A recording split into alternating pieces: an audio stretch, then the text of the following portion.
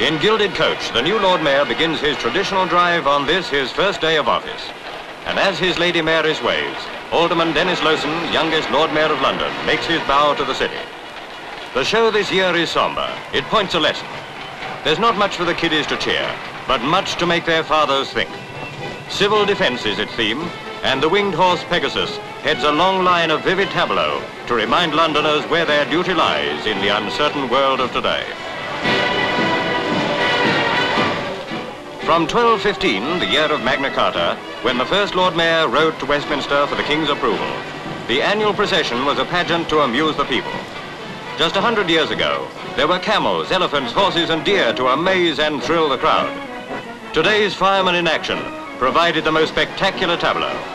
It seems only yesterday we saw them at work in our streets, with the rescue squads busy at their side. In our need, we helped ourselves, learning the way as we went and many were saved by these gallant dogs. Now, when the danger, if it comes, will be greater than imagination can picture, the new Lord Mayor reminds us that a nation prepared has little to fear.